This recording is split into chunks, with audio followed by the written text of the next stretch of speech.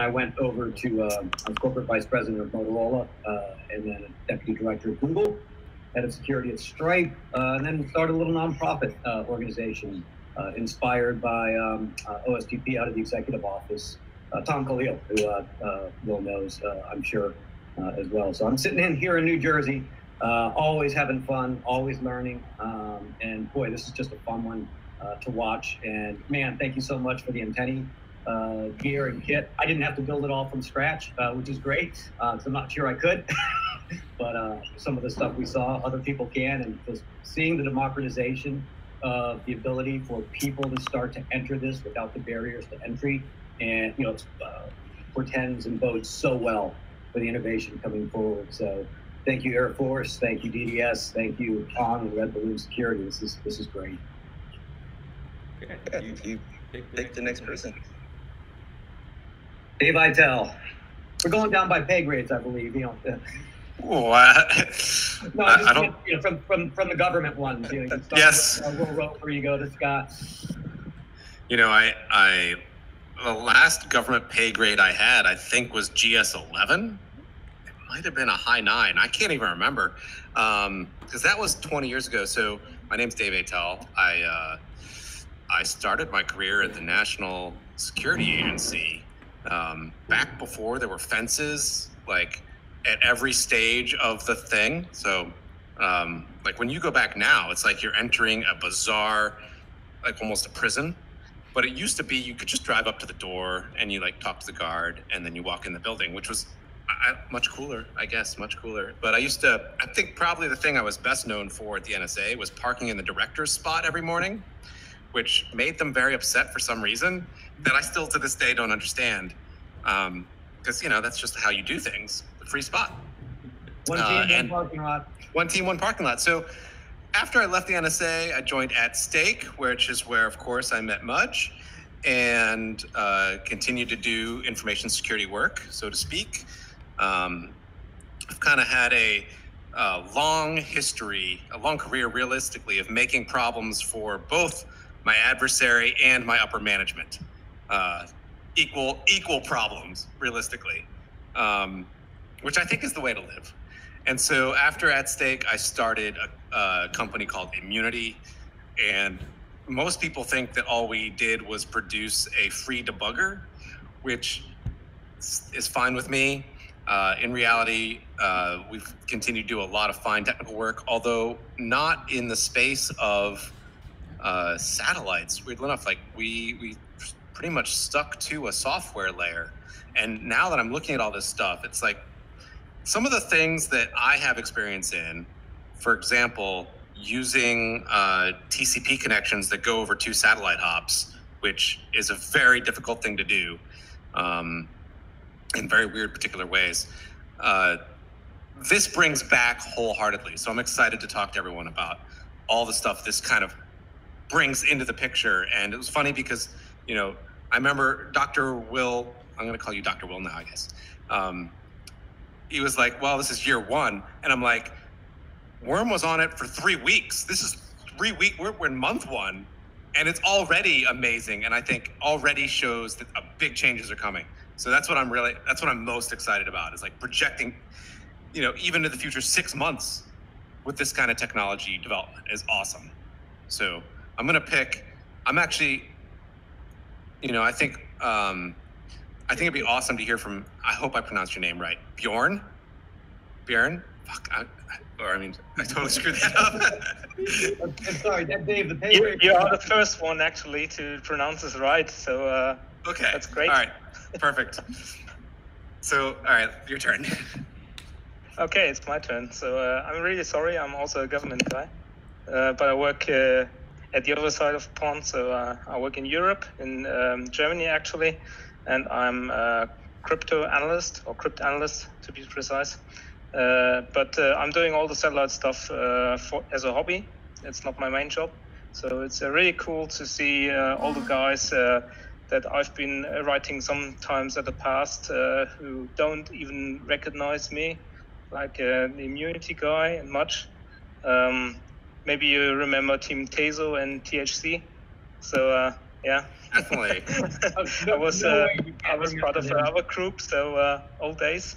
But we're talking about uh, the current uh, stuff. So uh, really glad and uh, would like to thank you all, everybody over here. It's uh, great to see you guys all over here and also in the chat. So um, I'm really looking forward what is going to be presented. One, one more. Oh, wait, so you, you pick the next person. You're too much in there. Yeah. Well, then it's uh, Worm, right? Hi, everyone. Uh, my name is Cameron, uh, also Worm, and uh, I've been I have a day job doing uh, software engineering and uh, some security and pipeline architecture.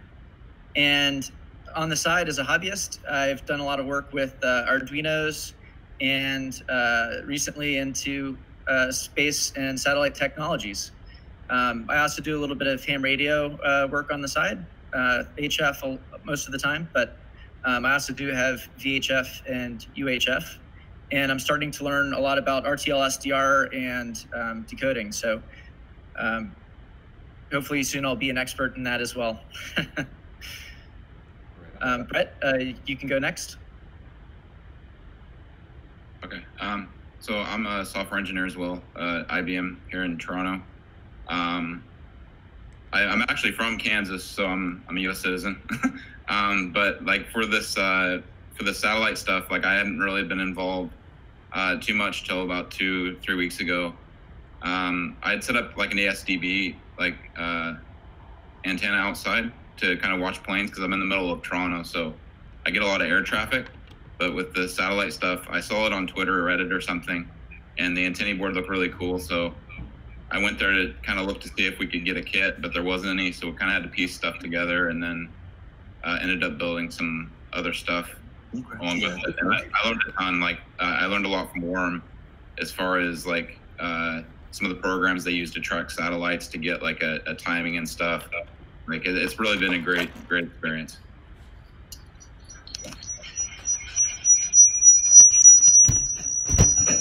And do, do I have to pick the next person? I guess. Yeah. Yeah. Uh, pick, pick, pick John. Pick John. Okay, John.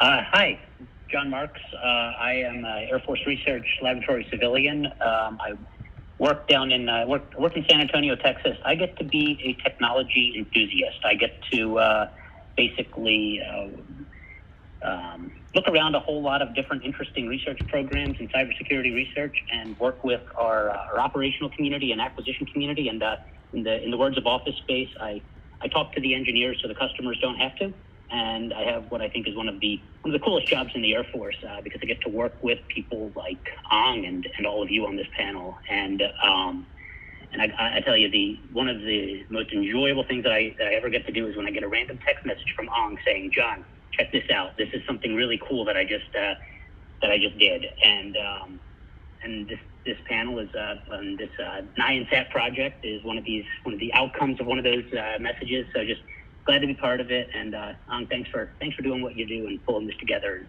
thanks everyone else for participating in this. Defo. Defo. Um, Trey? Trey, you want to give a quick intro?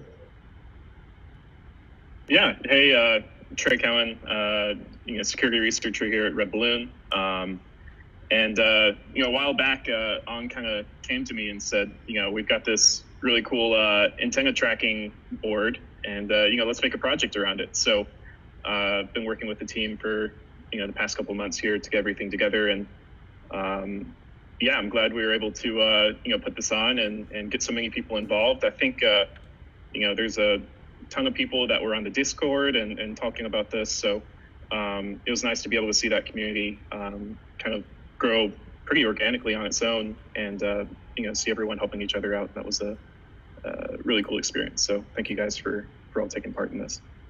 Right on. Right on. And um, so ooh, there's a weird echo. Okay, Okay, much better. much better. So I think the first time I met Dr. Roper was when I was boneheadedly welding in the parking lot of Vegas. I forget outside of which casino. And it was uh, me just boneheadedly trying to make a gun turret for this, uh, you know, cyber, this physical uh, CTF that we built to get people to actually hack webcams and you know card swipes and beat that CROWS turret because I thought you know what can go wrong when you put a 50 cal with a webcam and Windows, right? Cool, good stuff. And um, then it turned out uh, when I was working with John, and it turned out that he didn't want to give me a CROWS turret. You know, at first we thought that would be cool, you know, for Ang to have one. But then John said, well, you know, I know I said I could maybe do it, but the paperwork, you know, it's so much, who can fill it out? And I said, John, that's okay, don't worry. I'm just gonna go build one. So I actually get, I found a 3D model, a very, very detailed 3D model of the CROWS turret. Uh, it still kind of raises a lot of questions in my head why that detailed model of the turret exists. And I was able to buy it for I think $13 on TurboSquid. And it's so detailed that it even has like the, the cartridge return path thing, you know, so for, for like 3D animations, you think, well, why would you need that level of detail? But yeah, you know, the gun rail, I mean, like everything was mechanically perfect for 13 bucks. So I, I, you know, got working on the CNC, and long story short, you know, we ship the thing, right, to, to the parking lot, and it comes in three pieces, which, you know, I don't know if you guys are aware, the CROWS turret loves to be in one piece. You know, so we, uh, in, the, in, you know, Red Balloon Spirit, we said, no way are we quitting. You know, we, we went out and found the nearest welding shop, right? And uh, we got some welder supply, you know, glove, mask, and uh, at some point, at one point, I was literally banging on the gun turret with a wrench, right? So for people who play Team Fortress, that's you know, I said like that is a that's a that I, I get a point for that, you know, in life. But anyway, you know, so uh, that's when I first met Dr. Roper, and I, I, guess you didn't think that that was a ridiculous thing to do. And um, you know, for me, I've spent the last 10 plus years doing embedded security, and the thing that I'm really passionate about is you know not only take, taking apart these mystery computers that run the world, but you know coming up with ways and doing things to show people, you know, way, new ways of looking at computers and looking at things that we didn't think were computers.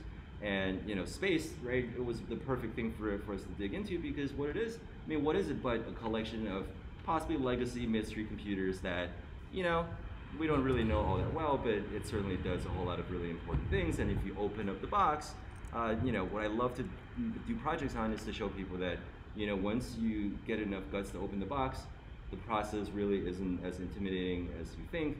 And also, you know, hopefully with a little bit of clever engineering, uh, you know, you can also get access to a whole lot of this stuff without having to be part of the government or spending, you know, hundreds of thousands of dollars. So this is where, you know, our angle for the Hack-A-Sat project was you know, come up with a as affordable way as possible for as many people as we can to take that first little step into the pond, right? To build something that can get them potentially a little bit to space. And you know, with that, hopefully, you know, we'll get more people to get involved and interested in this thing who wouldn't have otherwise been involved with. And also, I think we can, you know, we have tried to, you know, show that when we say democratize access to space, it, it sounds like a good word, you know, but it's not, it's everything, right? It, you know, when you democratize, you democratize. So it might not always be positive, you know, so for something like a few thousand dollars, all of a sudden in 2020, all of any any hacker on planet Earth with 3,000 bucks can point to the sky. And, you know, for those who've seen the, the stream, you know, I bought this AVL ComSat thing uh, that was, I think, supposed to be mounted on a, on a Humvee or something for 1,600 bucks. Not only does it come with an antenna tracker, the dish, you know, the, uh, the down converter, the LNB, it also comes with a 8 watt BUC, right? So, you know, if somebody wanted to break a few laws, all you have to do is hit that transmit button and all of a sudden you're transmitting 8 watts to Ku band. Um, and that's, you know, I think a version of what it means to democratize access to space. So, uh, and I think this is why it's so important, you know, we, we have, and actually, you know, I was talking to somebody uh, yesterday about this, I, I don't I wonder if you guys will agree, but you know the equipment that I brought together on this ground station, a lot of it had to be legacy, and a lot of it, you know, for example, the Comtech, right? So for people who used to do this stuff like the CDM 600, right? Some people said like, well, it brings back memories, uh, and the VAX station, right? It's still being used in some places. So you know, the cybersecurity, the security posture of those things that are actively being used today. Uh, I mean, those are legacy computers that were new back in 1992 right? So, you know, if thinking about that, I would say a large part of the security posture of space ground stations today is pretty much as secure as our PCs were circa 1992, right? And Uh, let's think back to you know the time between 92 and like 2003 you know if we repeat that process again for cybersecurity in space we're gonna have a bad time right? Because uh, hopefully we can do better than you know 1998 and, and things like that. So anyway that's why uh, we created these little challenges to hopefully get people you know act you know together building new and interesting things. And instead of doing a competition where there's a winner we felt like well you know we're really trying to just get the community interested and be inclusive. So let's just let people, you know, let's make a platform that can do something and then toss it out there, right? And let everybody play for a dollar, you know, and hopefully, you know, you throw out some stuff on the internet and the internet throws something back that's interesting. And I am so happy to have everybody on this panel because um, up to two days ago, I was really nervous. You know, I didn't know if anybody liked this thing or if it even worked or if anybody wanted to build stuff with it. Uh, but we have, I think, seven seven submissions uh, today that we're going to look at, and then internally, this is Andrew, uh, and Paul's somewhere. He's he's running the, the computer, but um, you know, we also have uh, two submissions, so that makes nine. But um, yeah, let's let's just look at the cool stuff people build, right, and talk about it. So we got about half an hour. We're gonna have to run through these quickly. Who do you want to start with? The people on the stream, or yeah, let's, yeah, let's uh, no, let's people on the stream. All right. You Um, pick. Jorn, you're first alphabetically. Paul, you want to play the tape? Yep. Okay. Um, well, uh, you can as well. Sit tight. We're pulling out the. Oh, that's echo. Can you turn your mic off? It is on. It is on. So Bjorn, you said? Yep.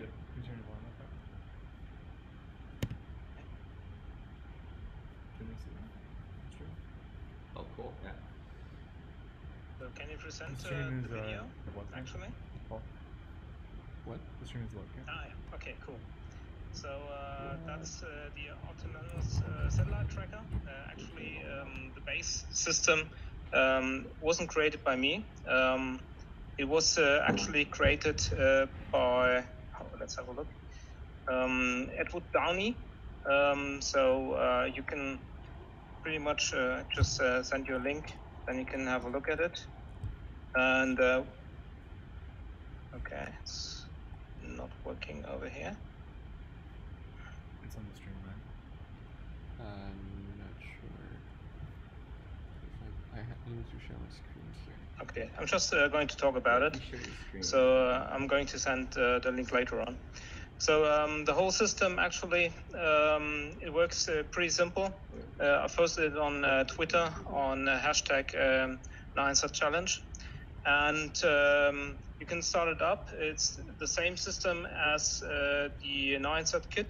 So um, you've got an ESP, um, you've got a voltage uh, driver, and uh, you've got uh, in front over there, as you can see, it's an L-band antenna, which I used uh, to uh, start with because I wanted to see uh, if I could calibrate calibrate it to uh, geostationary uh, satellites, and then I tried to capture even satellites that are on the move, like the NOAA satellites.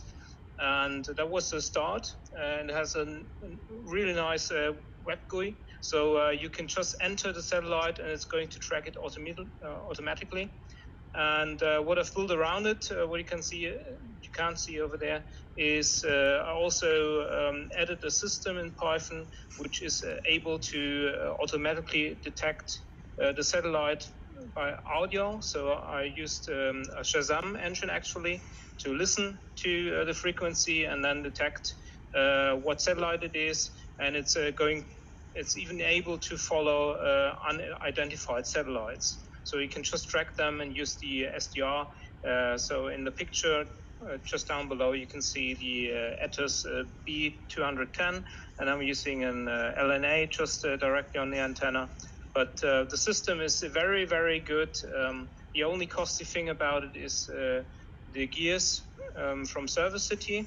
Um, those are needed because uh, then you can enable more weight uh, actually to the antenna. So that's a small antenna, but you can also use a large Yagi antenna, or you could also use a small satellite dish that works very well. So it's about like um, 20 kilograms uh, that are able um, uh, to be pulled on uh, the antenna. Yeah. So, uh, do you have any questions, actually? What the hell?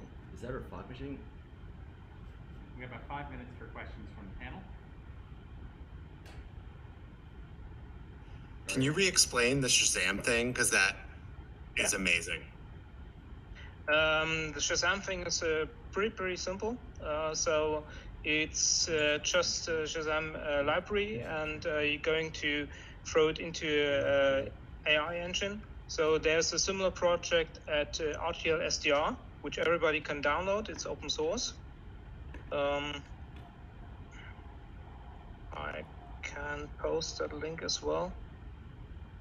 Uh, just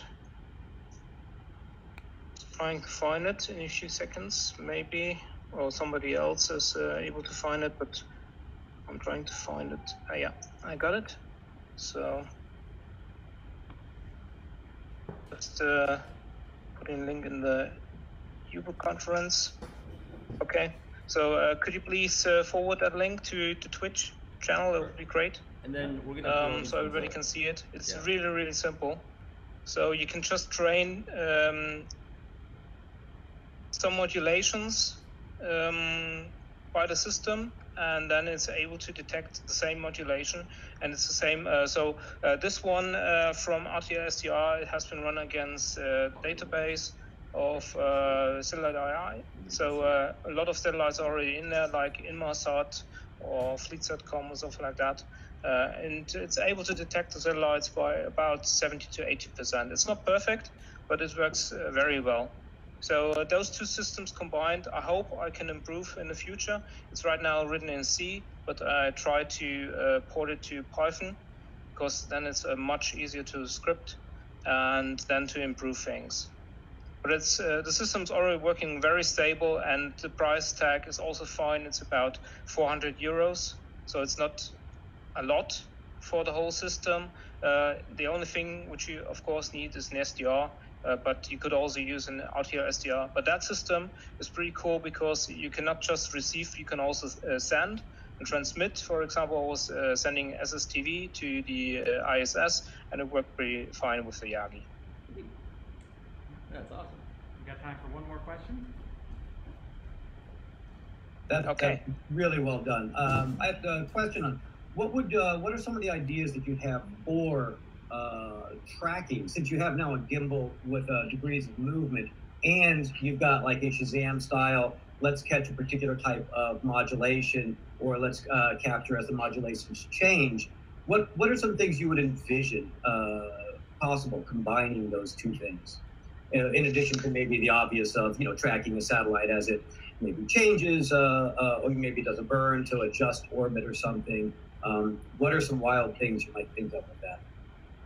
Well, the wildest thing I could uh, think of is, uh, as you say, uh, democratize uh, the space. So the coolest thing would be that we would have a web SDR uh, where everybody could listen to uh, the satellites, just pick up a satellite and uh, you're in the stream, you can have a look uh, at the data, start reverse engineering, or even help find uh, security issues um, especially for the older satellites where it's possible to patch uh, those issues. I think that's very critical. Or even things to see what NASA doesn't see, like uh, let's say asteroids or something like that. So uh, the greatest thing would be that we have a worldwide uh, system where we can monitor all satellites, where we can see what's going on, and to help support science and to bring mankind into space. That's exactly the thing. That's awesome. Very very well done. All right, Brett, we'll get your Thanks. thing loaded up next, and you'll be able to talk about all the cool work that you did. Uh, another little quick follow up before we run out of Q and A, if you don't mind. Um, were you? And I lost audio uh, during your description for just a moment, so apologies if you already covered this. Um, did were what sorts of signals did you see during your testing? What was the range? Was it predominantly, you know, for uh, quadrature amplitude, or was it, you know, predominantly a particular type of modulation, or did you really get a variety? How noisy were the skies for you? Uh, well, I haven't I haven't uh, done a lot, but uh, from the stuff I saw, uh, it always depends on the antenna, of course. Uh, there's also there's always a lot of noise depending on where you are. So I'm in the middle of city nearby Munich, so there's a lot of noise coming from the LTE cell stations, um, which burns into. Um, so um, yeah, that's that makes things a bit hard. But uh, speaking of modulations, I think the most thing I've seen on the satellite so far is typically uh, QPSK, PSK, uh, and FSK. So those are pretty common.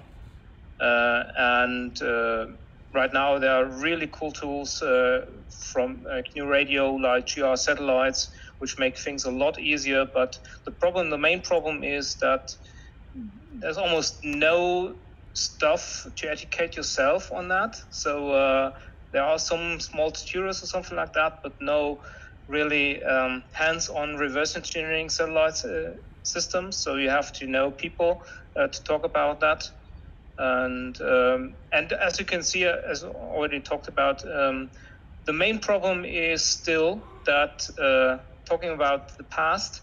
Um, when I first, uh, let's say, hacked, it's not really hacked, uh, satellite, it was uh, monitoring internet streams um, via uh, broadcast satellites, and I thought this isn't a thing anymore. And just this year, uh, I saw in uh, Black Hat, it is still a thing, which is ridiculous. Um, shouldn't be. Um, there are easy ways to protect that. So um, I think, yeah, that's that's the main problem. All right. That's great. I, I spoke imprecisely when I said noisy, and I meant how chatty. But you uh, you answered that as well with the um, phase shift and the, and the quadrature uh, aspect. Um, I, I'm not sure if we have 30 seconds left, but how would you fix it, given that encryption or other things take energy?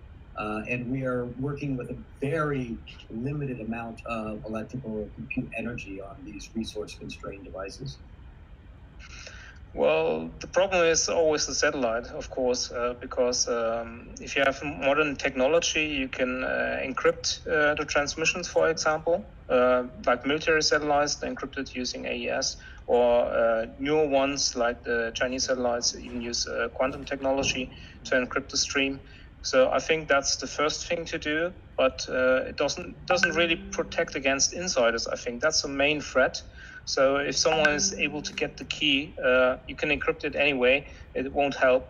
Uh, and the same thing is, uh, which I think the main issue is going to be, uh, where are you going to buy the chips and uh, what chips are you going to use? So the supply chain is going to be a big problem. Um, almost everything comes from uh, China, I'd say, or some parts from Russia even if you try to uh, understand what's going on with that chips, um, you still never know. Great. All right, let's get uh, Brett. We're gonna put your video and your picture up next if you want to talk briefly. okay. Second. There we are. So I think that's it. Um, and then throw up the. From my part. Can they hear you? Are you muted? Are you muted? Can no. you hear us?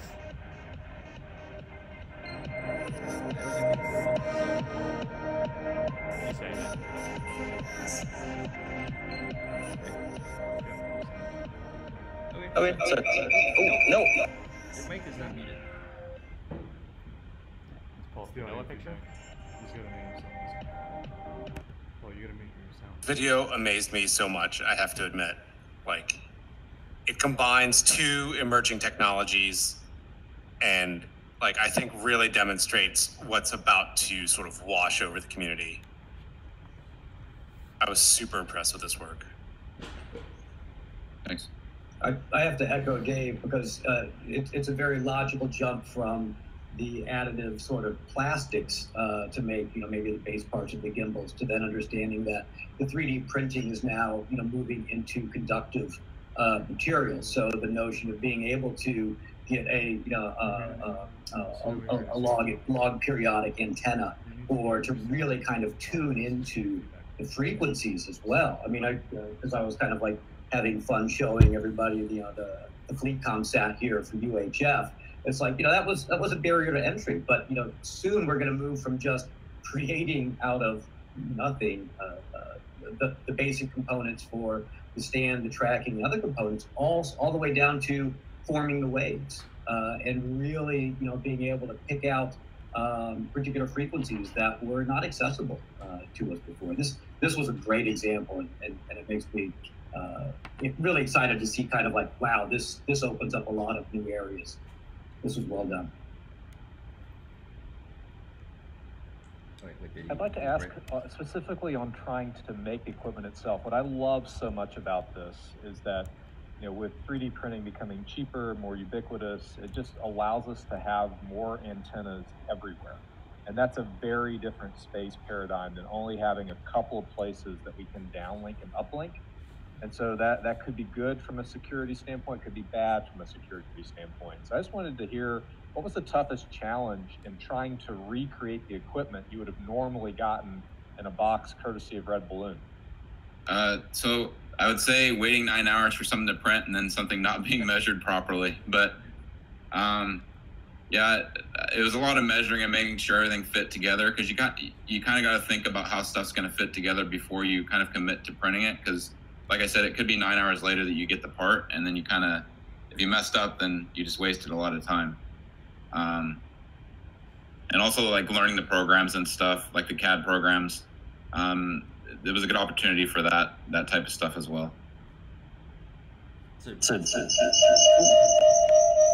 I keep, you know, during this project and others, I keep joking with John that was, you know, John just got his 3D printer set up during the pandemic, and I keep taking photos of my lathe and my CNC machine to say like, hey, check out my 3D printer. Um, so making some things out of metal. I think it's really cool. But yeah, this is this is awesome. And also, you know, I'm a big fan, a big fan of just having tools that can make things so that you don't wait for that iteration. You know, so uh, even the antenna board. You know, we we had three iterations of the design of the board. Um, and the longest leg of it was, you know, we had to, you know, send the thing to PCBWay so that it comes back within, uh, you know, a, a, about a week. But um, in house, we have our own laser cutter that, you know, sometimes we'll make prototypes of you know the board just using you know uh, copper clad right FR4 and um, the, the little toy that really really shined through for this whole project is our amazing pick and place machine.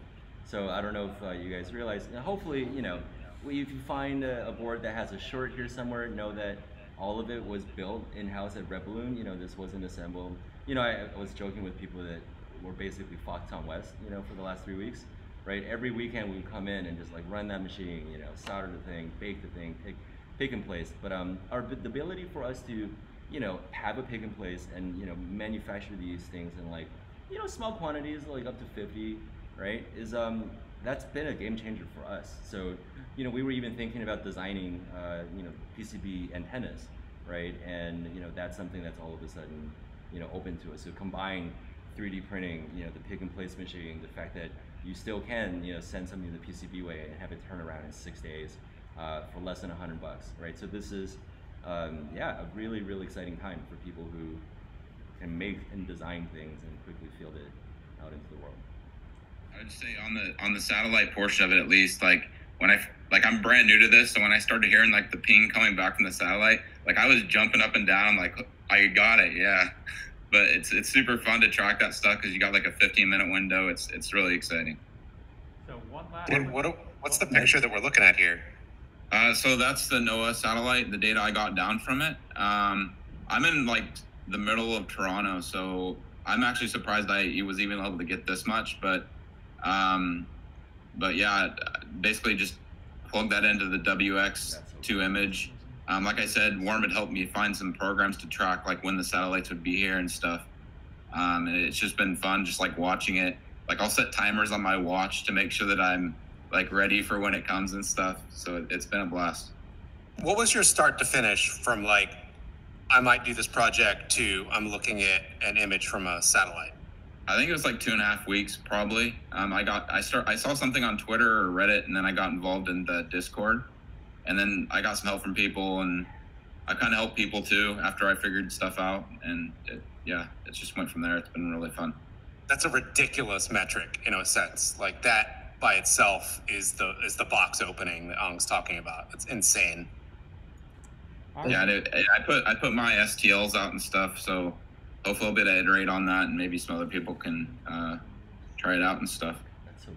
That's glad amazing. you put your STLs out because I mean I think that I think there's going to be a magic uh, in space for a while because it has that feeling of like where you know like ham radio where the first time you make your own radio and you get a signal from the other side of the world and it's just magic even though the physics is sound. I, I just think the idea of being able to pull down a ping from a satellite or pull down an image and that's available to a broad community and you're only two and a half weeks away from it you know, if you follow the path others have laid. I think that has just a real romance to it. So I'm glad to hear that even the ping from the NOAA satellites was awesome. Yeah, it was awesome. All right. So You can also see how this plays into the situation we're in. Uh, you know, with with the ability to have tools that make tools uh, instead of you know ordering you know the parts or ordering an antenna in order to set up you know meshes. It's just grabbing the STLs. It, you know, some people can start to publish you know the information to make it, and if you wanted to you know start communicating on different sorts of frequencies in a sort of mesh network or monitor large swaths of the sky by having larger amounts of the earth covered uh, with receiving. Um, you know, it's this ability to just download, kind of stay within your area, not have to, you know, kind of go out to places, interact. I mean, we can we can do this in a more isolated fashion, and and I think that's kind of exciting. There are a lot of bad things and frustrating things, but the ability to realize what we can actually create on our own in our own environments. And then to what Ang said, you know, using antennas out of printed circuit boards. Uh, you know, as as you might recall, we called the fun antennas, the unintentional antennas and frequency tunings that you'll have on particular types of electronics and repurposing it. Um, you know, every crisis is an opportunity, and I think this is kind of demonstrating some of the opportunities we have for creating locally uh, and repurposing things um, grabbing new science and and and, and the, the satellite uh, weather image is great. I almost wanted to say when Dave was like, "What are we looking at?" And the answer is, "We're looking at you, Dave. You're in there." All right. So, So, in the interest of time, we're gonna keep the show, keep the show moving, moving to the next uh, submission. What, what do we have? What do we have? Worm is up next. I think this was the first The first video that I personally saw. It's awesome. So I'm so excited. Bottom left there. Yep. All right, hopefully I'm unmuted here. Just waiting for the video to pop up. Uh, so some background is the uh, when I got my V1 antennae, I was I think one of the earlier orders, and the my board had a problem with the USB UART chip. Um, so I took that off and tried to reflow it, and ended up having issues with with that board uh, working even after that. So um, I instead built a DIY setup, um, which was useful because I've been able to, with that, help debug folks um, across the Twitch community. I'm sorry, the uh, Discord community as well. So, uh, what I did was uh, find some mistakes in some of the source code, made some changes on Git to uh, try to free up people to actually use the uh, the device, and was I think one of the first people to get tracking working.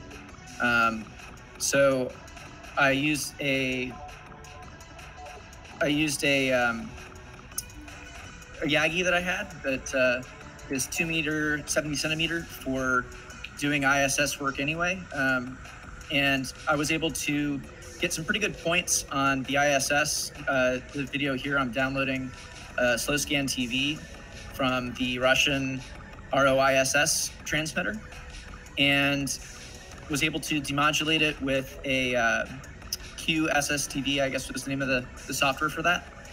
Um, I had also read that some of the good targets were also the weather satellites. So, in addition to getting the slow scan TV demodulator, I found a program called um, APT uh, APT NOAA. So I used that as my demodulator to try to get the NOAA signals, and I managed to get uh, 15, 18, and 19 all in one day. Um, I just got lucky and had three passes in a row. So I just set up on the rooftop and managed to collect uh, a couple of them. You can see this one, 18, was right at the end of the night there. So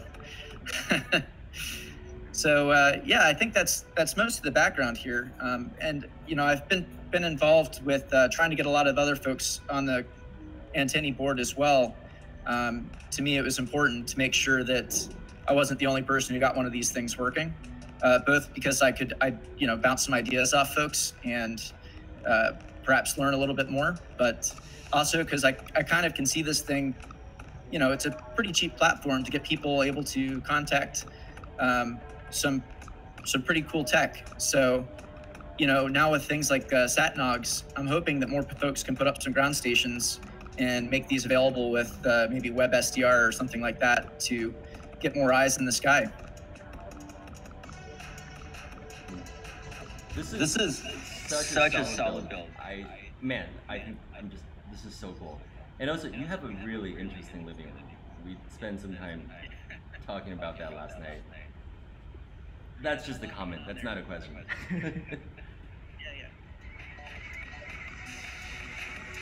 So I, What I know what is the airplane?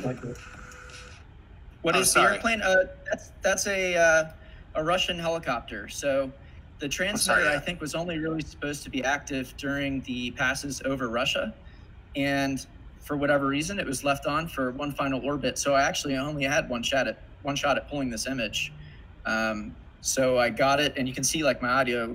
You know that it's not the prettiest signal in the world, but it was good enough to get some demodulation on.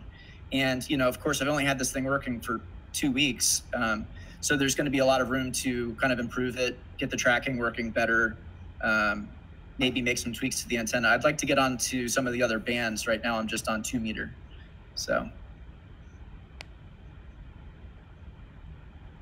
That's awesome. It's a it's a really good example. I mean, from the slow scan TV, um, the the you know is that an intentional image or not? The intentional ones from the NOAA satellites that because there was such a barrier to entry, because this was like out of reach of mere mortals for so long, there's a lot of stuff that didn't have this in the threat model. And I find it fascinating. And this is why I was always drawn to this. This is why, well before, you know, the government, you know, I, I used to follow all the European groups that were doing, you know, what they call, you know, uh, spy, you know, um, you know, stealth satellites or spy satellite tracking. There's this community for that because it's this notion of there's something out there that they didn't think of us about, and we can actually watch it, uh, and we weren't really supposed to. And I find that fascinating. There, there are so many challenges as to do we do a narrow beam versus do we do a wide beam? Well, what happens if we do a narrow beam? Well, we probably have to have a little extra fuel that's a very scarce resource on satellite because we're going to have to keep repositioning it such the antennas can actually talk to each other versus a wideband. You know, so all of these trade-offs as to the physics, the mass, and and who the intended recipient is. Um, if it's a wideband, how do we get the right people to you know decrypt it? If we even bother, you know, the extra part of encryption. So I I love the little extra nugget in here that it, it really gets me excited. Of here's a picture of a Russian, uh, you know. Um, helicopter because I'm like, oh, this is this is the sort of stuff that just I stay up late at night just to catch a number station or something else. And here we are, all of a sudden going to be able to catch all of this new information. Um, uh, so yeah, this this one got me excited. Uh, the the range of things you were receiving, uh, the slow scan TV of, of the of the helicopter. Kudos. I, I am curious that there's a question here, like, what stuff are you kind of excited about?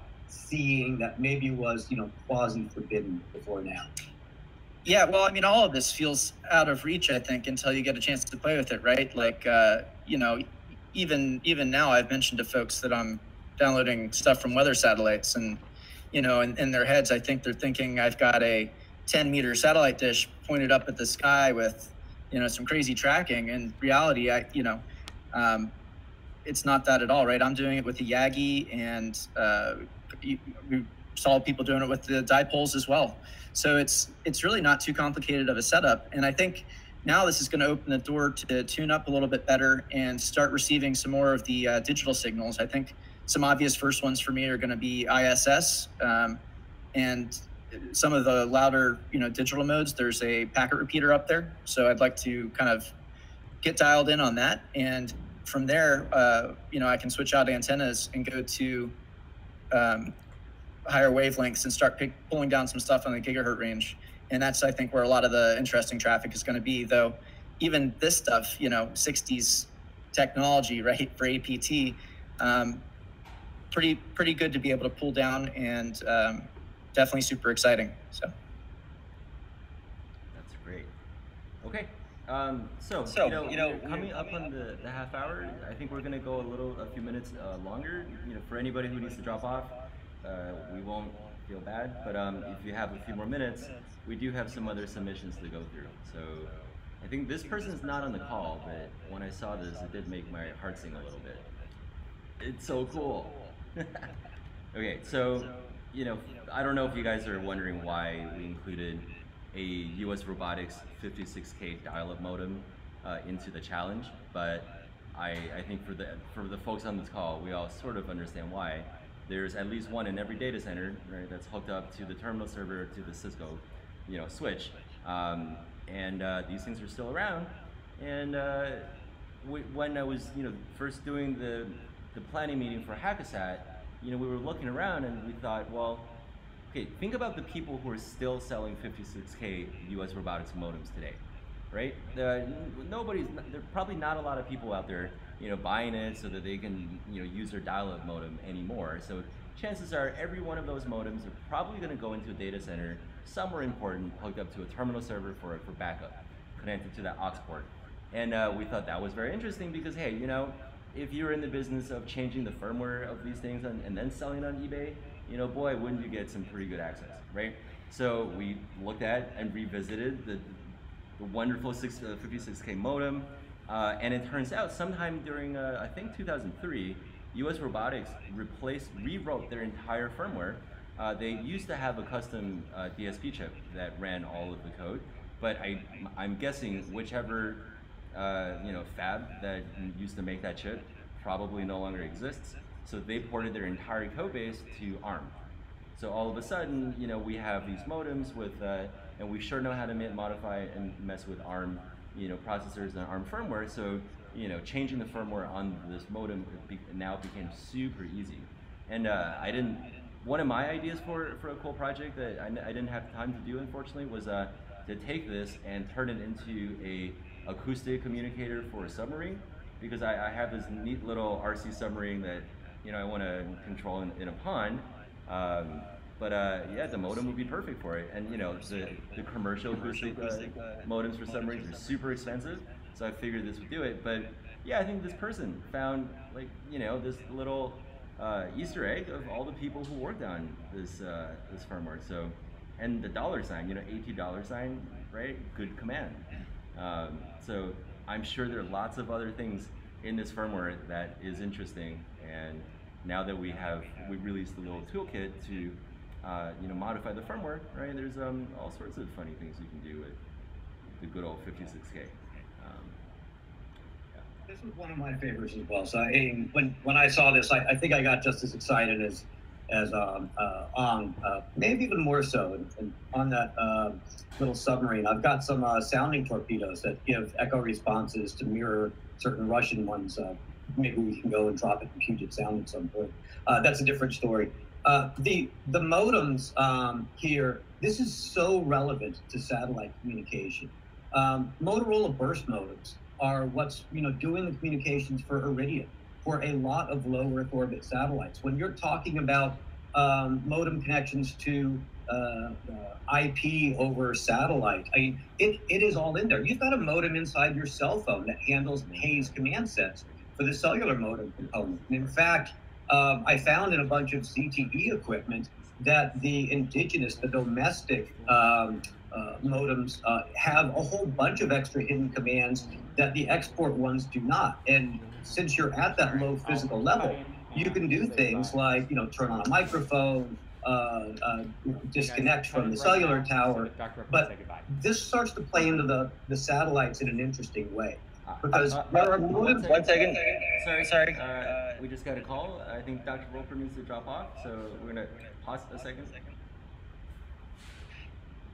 Look, I look. I I'll tell you. I think I've got to jump and do the other Hack-A-Sat things, but this was this just gives me a ton of hope. Um, not not because we're going to be doing well anytime soon in terms of security in space. But we do have the right people in the community engaging now so that we can become better quickly.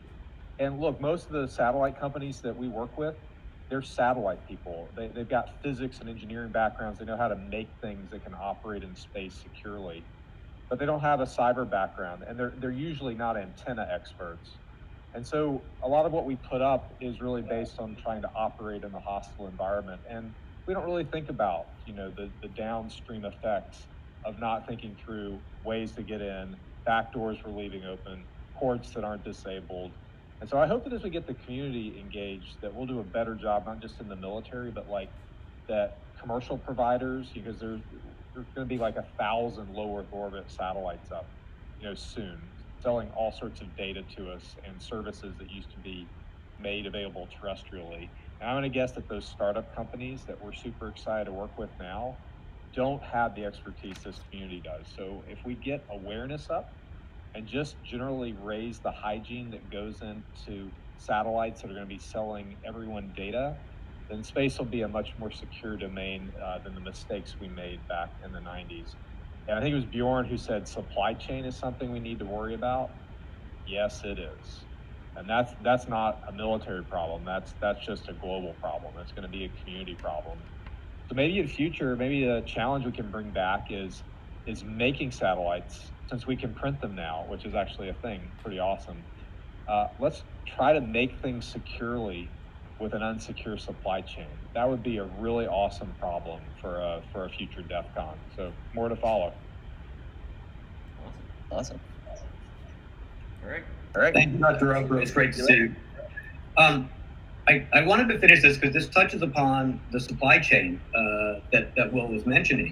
You know, all of these satellites have modems in them. Um, our you know equipment talking to them have modems, and you can find some really interesting Hayes command sets. Why is that so exciting? Because a lot of the communications are all in-band signaling again, it takes more, you know, resources to do an out-of-band signaling or to do a secondary radio link. And just like the old days of like knocking people off of IRC by pinging them with a plus plus plus ATH zero to get their modem to disconnect on the dial-up, those things start to come back into play here. Um, and you can do this on your own and see this effect. If you run a website uh, embed some uh, plus plus plus ATH zeros right before um, you have an image when it's going down, and turn chunking off. And you can notice when somebody with a cellular uh, with a cellular connection connects to your web page, uh, if if you don't have that line in there, they get everything and they grab the image very quickly if they do have it, oftentimes that modem sees the Hayes attention command set and disconnects, and then it has to reconnect again. So you can see this delay before it grabs that image. So this, these are viable attacks just with the cellular infrastructure down here, but they are even more ubiquitous with the cell, with the with the, the radio modems going to space. And this kind of goes to the supply chain of what are some of the weird command sets that people have embedded in there and if you can ping a satellite, have it ping you back, you know, what can you actually do controlling it? Because it thinks that command came internally, was supposed to be captured and acted upon by the physical device within the satellite. So this is a really, you know, seeing this little Easter egg in the Hayes command set really made me think about, oh, we have like all the old school phone phreak stuff and modem manipulations coming back into play with tons of assets that are in space and all the new ones that are going out there from different vendors and manufacturers that have now put in. So maybe, you know, not questionable as in meaning to be malicious, but questionable as why would you put that Hayes command set in there in a way that I might be able to trigger it by getting you to replay or repeat some data back out to me. So that I love this one. Thank you, Ang, for, uh, for, for for accepting that and putting it in for that little image. Uh, yeah, that that kept me up last night.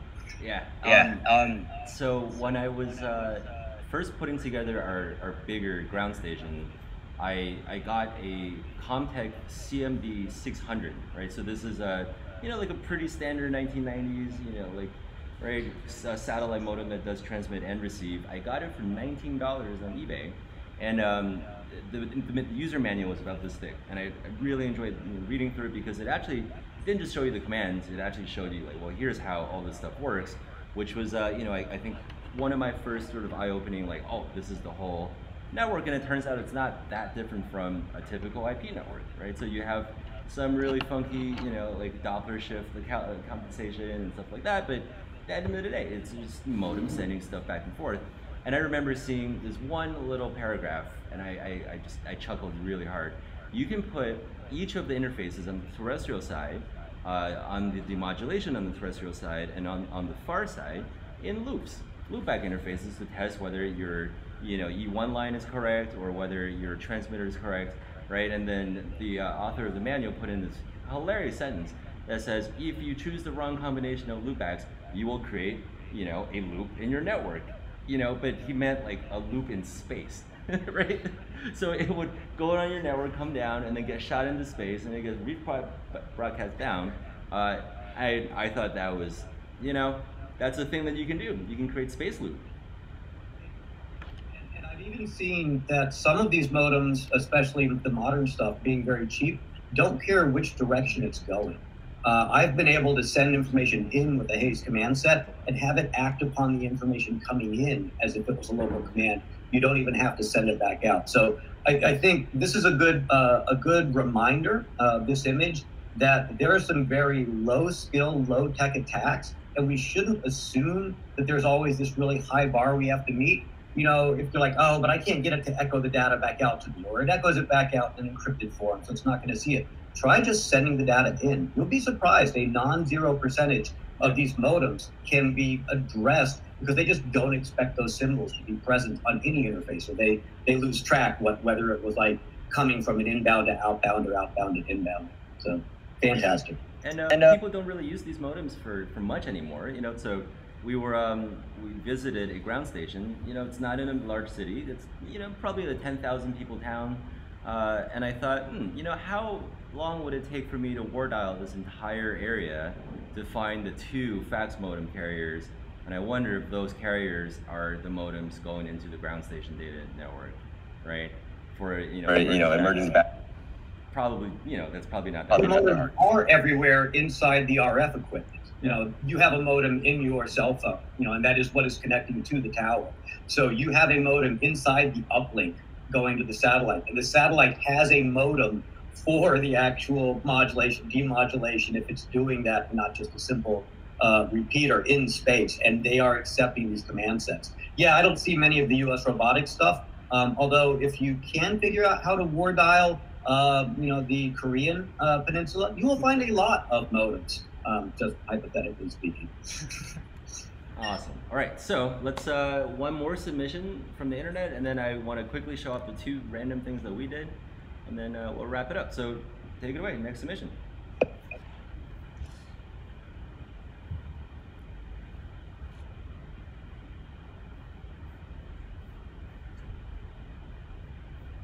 By the way, this is This is ridiculous. ridiculous. Like, where where is this? I want your lab. That's awesome. Hey guys, so um, this is this is from a while back, but I thought I'd share with you.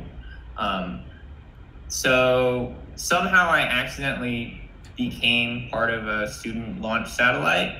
Um, so a little bit about me. Um, you know, I'm, doing antenna stuff. I'm a cyber guy. Um, really got inspired by Cult of the Dead Cow. It's kind of a kind of an old group. Don't know if you guys have heard of them. Um, Wait, is that a joke? I. Thank you.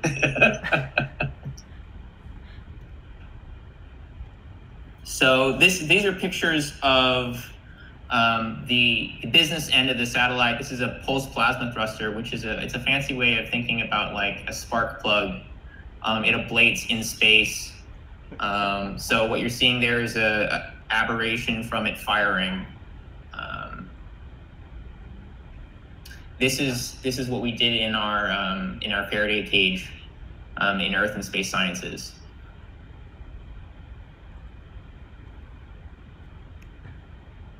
That's That's amazing. amazing. Um, Um, it's nice it's to nice- have a real lab and real toys to play with. I- Yeah. man. man. Okay, Okay, so, so let- let- maybe maybe we'll show you what we've done without labs and real toys, and I'll show you my laser. Do you want to Okay. let people comment on Jasper's work first? Yeah, but you know, before that, let's let's you know let's get some comments and questions on this. But I'll, I'll show you my laser.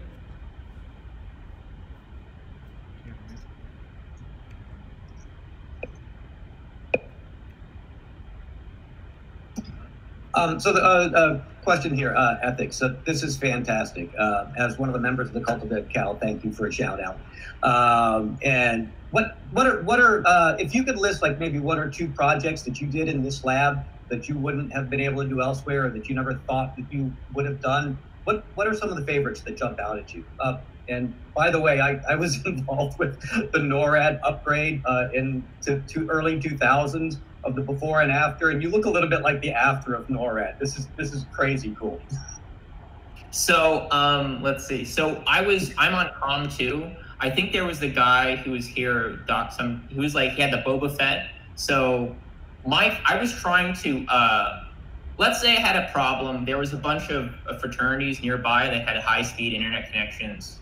Um, and I was trying to figure out a way that I couldn't be triangulated, so I needed to have a, a directional antenna, right? There wasn't anyone, there wasn't anything like that in the Wi-Fi spectrum, so I was looking into like phased arrays, and I just happened to bump into my friend who's a physics grad student, and he was working on this this pulse plasma thruster. So my background is in COM too. I think it's in the subsystem chart.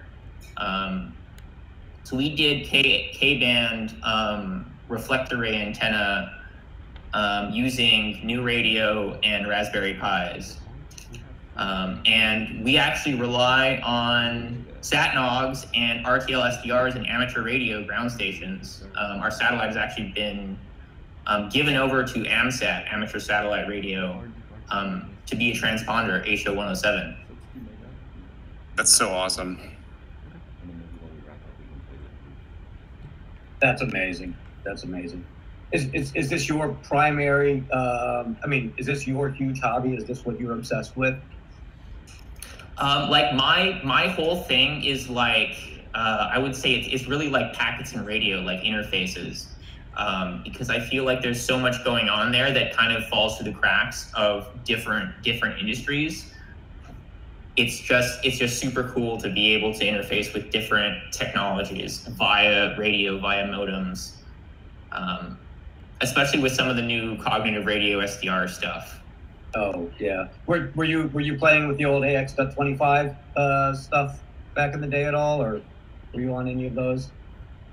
I mean, like this is like bow. I got a Baofeng here. Like that's that's my generation. Um,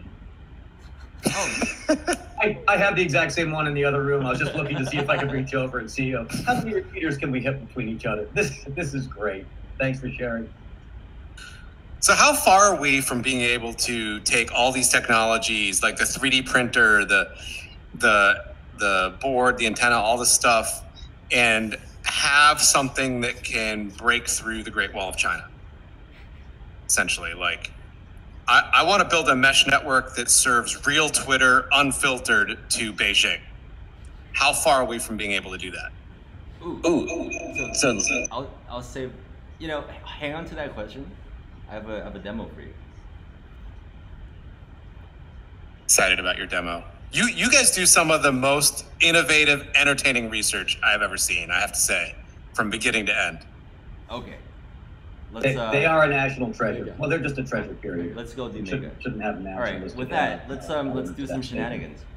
Uh, okay, so this is a project called Mega Antennae. Antennae, And I think and it was um, I think it was Bjorn who you know mentioned the fact that uh, you know if you put some you know like antennae is a small board and people thought it was uh, it was small and it could only lift small things. And like a boneheaded, Boneheaded person. that I am, Um, I, I- said that's not true because uh, we actually put four power regulators on the antennae board, so it is a small compact board, uh, but it is uh, it, it's capable of pumping out something like 45 watts of power. All right, but when you do that, the board immediately catches on fire because we didn't include any heat sinks. But that's not technically, you know, antennae's fault because antennae is small but powerful. So we, what I did here is I built a PLTA cooling system. It's water cooled, I had the uh, heat exchanger off of a truck just lying around in the office, slapped that on with two box fans, uh, and I welded a custom uh, pipe, you know, thing that carries the cool water through the power regulators on on antennae. Uh, and so, you know, you have this massive thing sinking a ton of heat, and uh, we were able to show that antennae, mega antennae, can pick up a big boy satellite dish that's probably, oh, I don't know, like 15 pounds, but you know, that's, that's, it was not even getting hot, right? So, uh, yeah, I guess this was just my boneheaded way of saying like, you know, it might look small, but you know, it, all you need is a little cooling. And in fact, the cooling on this is far, it's far more than necessary. And I have a reason for that. Because uh, while I was building this, I had the second demo in mind, um, which I suppose we can, well, you know what, I'll let, I'll let O'Brien or Andrew talk about multi and the, what he built and how it works, and then we'll get back to why this is cool, and hopefully we'll answer uh, Dave's question. So a little bit of background on this. I got a text from Mom one, one day showing me some interesting stuff that he had purchased most recently after watching some previous and YouTube videos.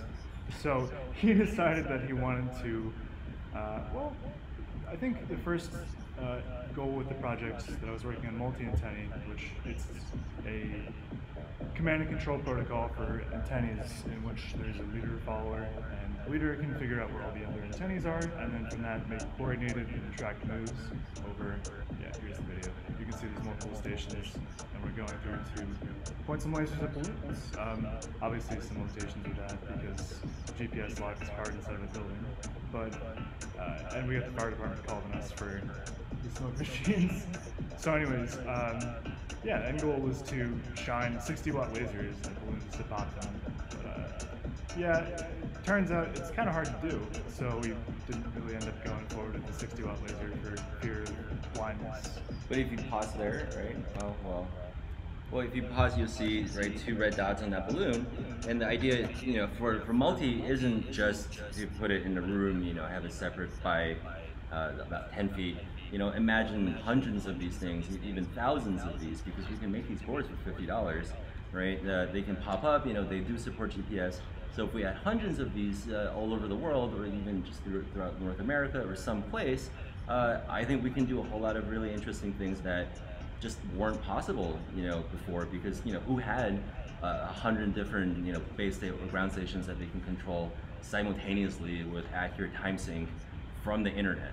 So some of the things that we thought of, you know, I was tossing ideas uh, around with uh, John, and I had no idea that tracking SpySats is there's a community because that's exactly what I want to do with multi, right? So you know, if you shine a beam into the sky uh, where you think something might be, but it's not listed, the chance that you'll see something reflected back to you, the perspective of the sender, is oh, basically zero, right? So that's obviously not going to work. But you know, if you had 100 friends or maybe 500 friends right, with their own little SDRs, you know, like in the tri-state area, right, or across some area, then all of a sudden, I think this becomes much more of a realistic strategy, right? Because somebody might pick up some reflected energy somewhere, and that would give you a great idea about whether there was something orbiting there or not. You know, so the ability for us to make these things cheaply, right, and for people to bring this up and write Python uh, means that hopefully you know, with and the, the command and control protocol is already committed, right? Hopefully, we can start doing some really interesting collaborative stuff.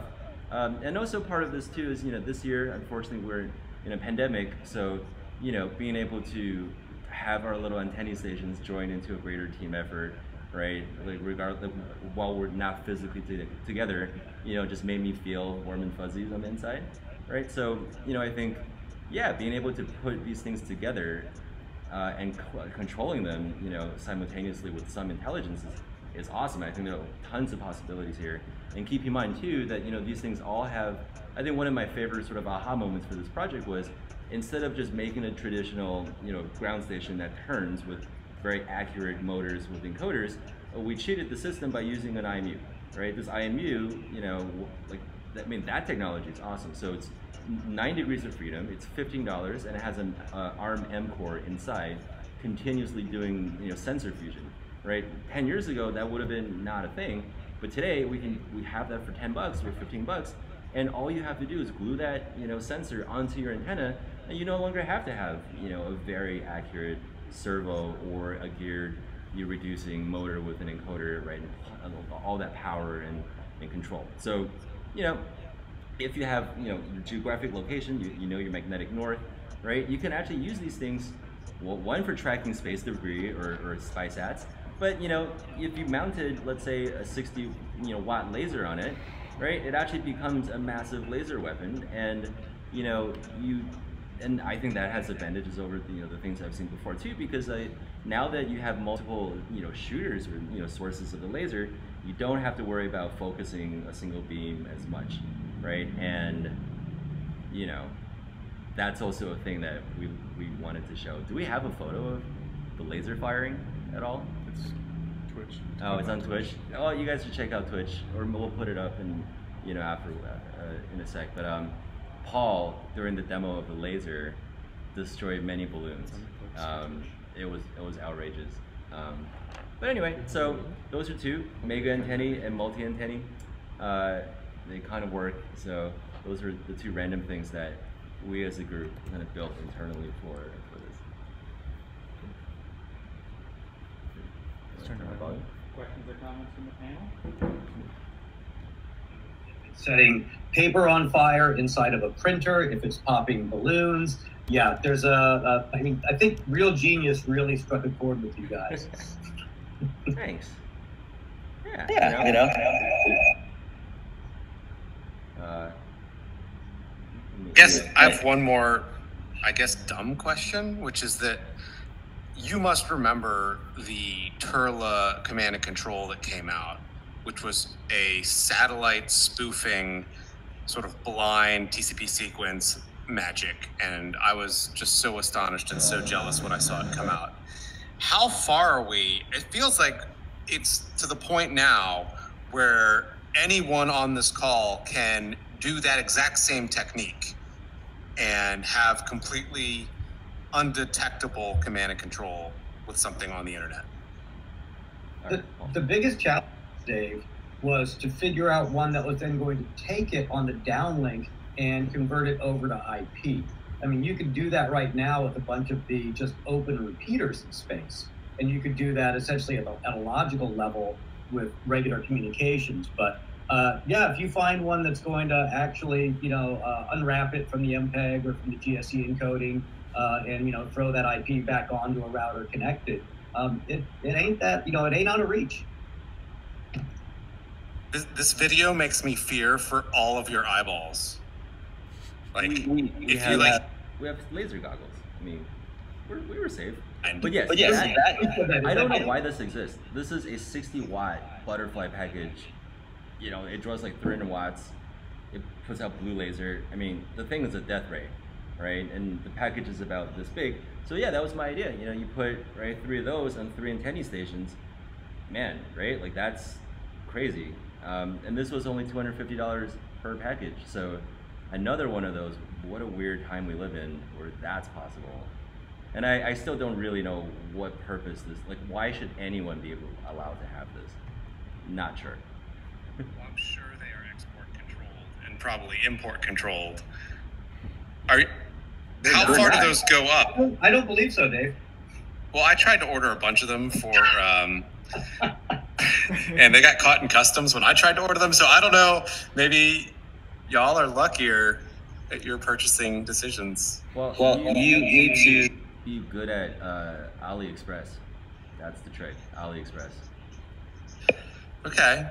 Are you saying that these, like, if you have like 300 of these in Long Island mounted, you can point them up, like, and reach into space?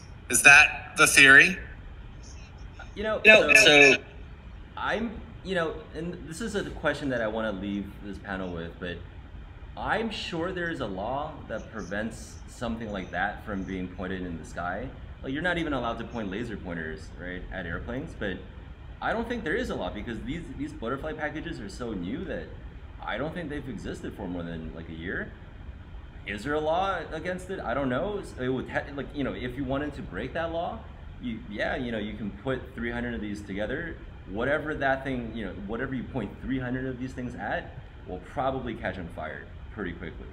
Um, and that is, you know, a, a, troubling, terrifying thing to think about when, you know, the, uh, the antennae platform can do it. All you need is a little water cooling, right? And you don't have to have this in one backyard. You can put it on every, you know, you and like 20 of your friends can have it in 20 places in the city, right? And, and all of a sudden, like Manhattan can become just like helicopter death zone with lasers.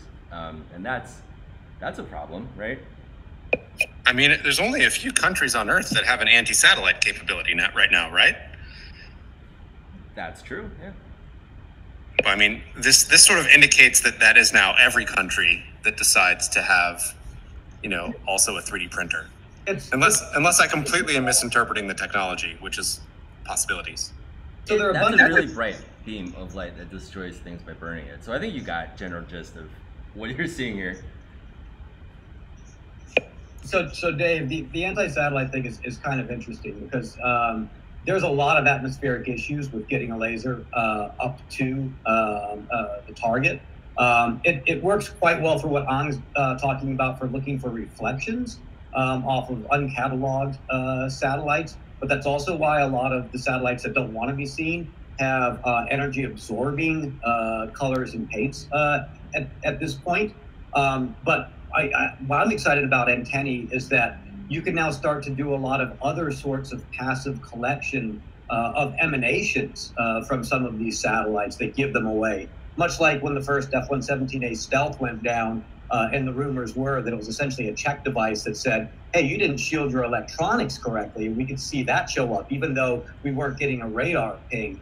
Um, I'm wondering how many, you know, things with a with a gaggle or flock of, ant- of antennae uh, on particular tuned wavelengths that you can kind of identify when one passes underneath uh, and blocks a particular transmission or what sort of emanations they have uh, by themselves. But uh, as far as everybody joining together with a laser going up, the atmospheric interference uh, is actually something somewhat significant.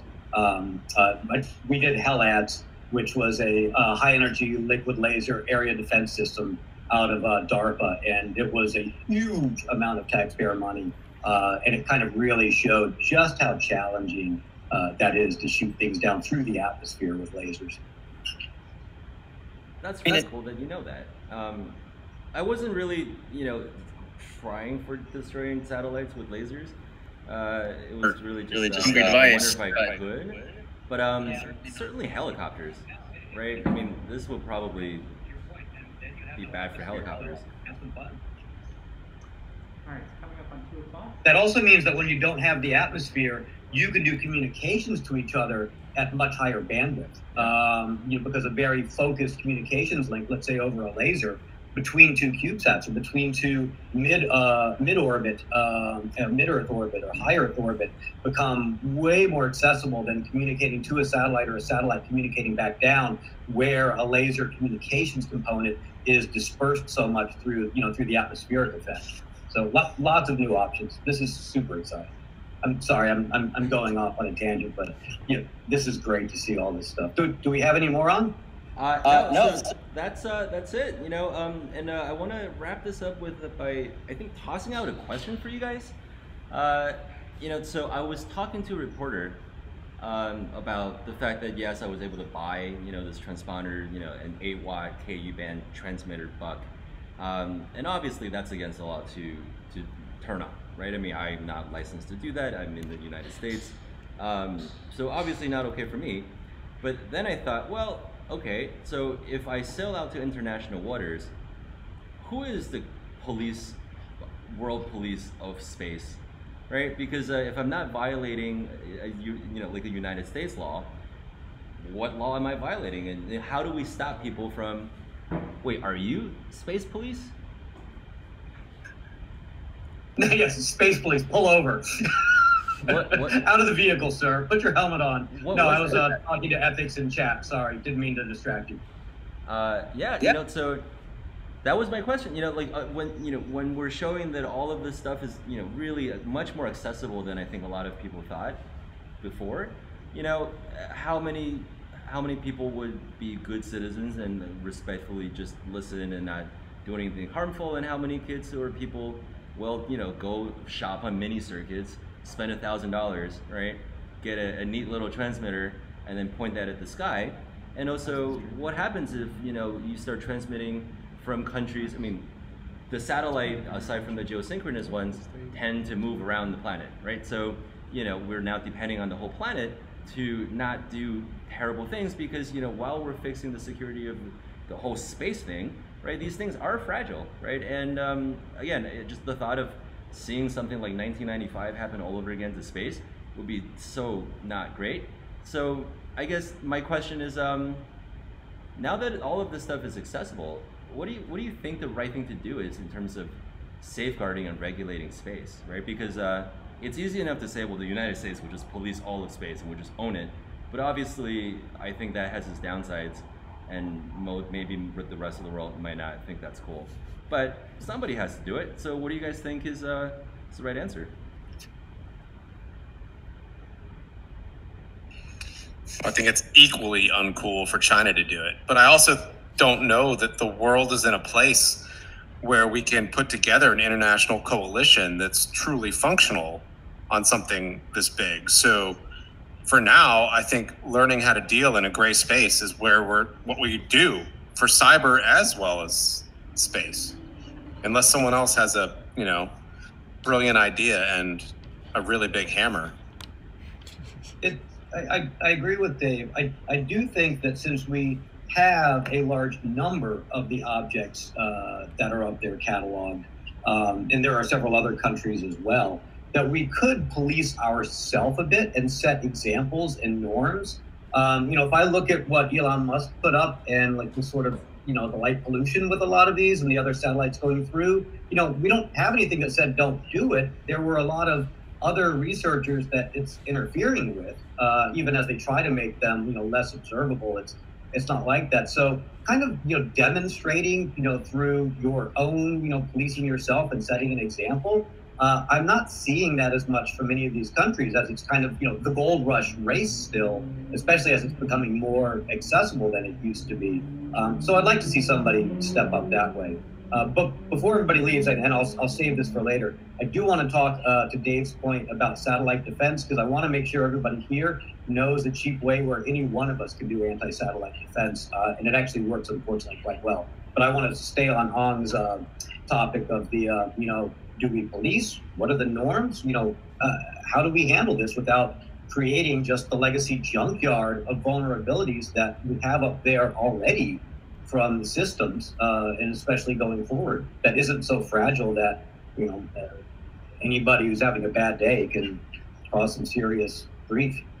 I think, I mean, the, the problem here is, though, that every time you bet on emerging norms in the international system, you have bet wrong. And so I think sometimes someone like Ang opens up the Pandora's box and you just get to have all the stuff come out. And that's now your stuff. You know what I mean? Like, that's yours. That- and you get to keep was- it. Yeah, so that- that's that- how we live. I, I love Otherwise, it. it's just hope and dreams. Those aren't real. I, I'm actually all for that. I mean, that was my that, that's why I drove full disclosure for so long. I'm like, look, it's just going to come out. It's going to be painful, but the faster we get to the pain, the faster we get to start addressing it. We can't stick our head in the sand anymore. So let's just open it up. There's going to be goodies. There's going to be baddies. Um, you know, this was a little more challenging because we actually physically get in our own way for getting other things up there. Whereas, you know, the software is much more of a, you know, kind of logical or disruption of continuity or operations rather than here we're raining space debris. but I'm, I'm with Dave actually. I mean, I, I like a little bit of the chaos. I think The reality is, we try to regulate. We still get all the pain, plus we have the pain of regulation. that's that's the fun of it. I'm kind of glad Will's not on here because Will will be like, "Oh dear Lord, why did you invite these guys?" Yeah, on?" it's true, but I, I I don't think that like I think the other part of it is is is not embracing the new reality, right? It's it's a it's a form of denial, and so I think sometimes you just embrace it. You're just like cuddle up to it, and it keeps you warm at night. That's what it is. It's not a message of hope, though. Dave, if you were delivering a message of hope and altruism, and I'd be like, "What have you done with Dave?" It's true. This was amazing stuff, by the way. I was blown away by all the videos. Does anybody? I, I know Dave and I and and Ang, uh, you know, take, a fair amount of the mic time. Did, did anybody else have a comment on Ang's, uh, you know, question and kind of challenge the folks on, you know, how how do we make you know the next steps or move things towards a safer situation or help protect some of the fragility that's already up there in a way that's, you know, economic. Uh, uh, I've just lost the word. You know, fair to all. I think I don't really think that's uh, going to be the case. Fair, fairness, uh, especially if you see what's going on with uh, China and uh, Russia right now. So uh, and the US, I have to say as well. Um, I think um, the thing is, it's the same situation as the nuclear bomb, right? So uh, we have to have treaties, we have to have rules and regulations. we have to cope with it, and we still hope it's going to be the same way. But uh, the only thing we can really truly do is to improve security, to prevent some, let's say, single guys to do really harmful things, like bring down the whole telecommunication or something like that. Because just imagine having a pandemic and losing telecommunication, that would be chaos and dangerous. Very, very good observations. Um, anybody else? Because uh, before we depart, uh, as you mentioned, like the single person bringing down telecommunications since the 1998 Senate testimony, where I said, "Hey, BGP attacks can take down the internet." I do want to leave this one with the here's how you take down satellites as an individual actor. Um, but you know, and, and maybe I should share that now because maybe that's an example of you know maybe this is the thing we have to worry about, and maybe folks can um, can think about that. Uh, two things come to mind, and I've, and I've seen both of them happen, so, so I know they're possible. One, a lot of the receptors uh, on the radio receptors up in space are very, very uh, sensitive. They kind of need to be, especially some of the older ones. Uh, and uh, and has seen this in more recent, uh, like kind of IoT devices, but this happened in the larger, older stuff as well. There's not a lot of hardware safety guards in place uh, to stop overloading some of these sensors. So with a strong enough transmission, which normally is out of reach of the individual or amateur, you can essentially, you know, blind a bird uh, by overpowering it, it, its receiver and doing damage to it. Um, that is the, the the leading thought as to what happened to the Galaxy, I think Galaxy 4, maybe it's Galaxy 5 satellite in 1998 that literally took down uh, pager communications within the United States. Um, I have I have some rumors from sources that I trust that imply that that was somebody painted the wrong bird and just kept turning it up. You know, a large a a, a, a government painted the wrong bird accidentally or something like that. They had a transmit capability. At least that's the rumor I heard. But the way that um so so that's a risk uh, for being able to take it down at the state level. As an individual one, um, a lot of these satellites, you know, they're running on two things. They've got a little bit of fuel uh, and then they've got electricity, the electricity is normally coming from solar from solar panels. But the fuel is used, you know, um, at the end of life to maybe park at the graveyard, but during its life to kind of make sure that you know small small minor adjustments uh, to you know, the, the, orbit, the little figure eight or teardrop it's doing, or the alignment um, for for the antennas, and that uplink is sitting in oftentimes in like the 400 megahertz range. Um, now, that's an accessible range to a lot of people. And if you know where to be, that's a range that you can jam. And all it takes is a little bit of denial of service and jamming. And if the satellite doesn't receive the communications which tell it to readjust, um, then if you do this a few times, you know, all of a sudden that antenna is out of alignment or the bird is ever so slightly moved. And if you do it right, it's now no longer communicative. So, you know, just a simple, wow, I can get a really powerful transmitter, you know, either make it out of, you know, Alibaba or other parts. I mean, you know, hams and CB folks have been doing this, you know, in violation for ages. You can literally step on transmissions that are important to manually readjust uh, a satellite. And if you do this strategically, you can make that bird blind and take it offline. And I'm just always amazed because the you know the threat model was that it required somebody with significant capital and resources uh, and technology to do that. And now we're demonstrating that's not true. you know, this is attainable and achievable by just about anybody. So I do worry about some of the some of the communications that were just always thought to be, if you can communicate, you're good. You're one of the few people we trusted, um, and that's not the case anymore. So when it's untrusted communications and you have to filter, and you've got a system up there that was never designed for a hostile environment for RF all the way up through the you know the, the, the session and the and, and, the and the application layer or, or, the data that it's telling it, hey, I, I need you to adjust by n, n, n amount of degrees, do a burn for you know however many uh, fractions of a second. Um, you know, what do we do about that? Because if you choose the right birds to make blind, that's pretty significant. You know, that's that's the equivalent of you know of, of the old you know BGP take the internet down in 30 minutes uh, sort of setup. I think that's one of the ways. I'm, I'm curious if other people have other thoughts about, you know, uh, single actor uh, destructive things that they're concerned about, or just like, you know, w- what is it we should think about such that the worst case scenario doesn't come as a surprise, to paraphrase the.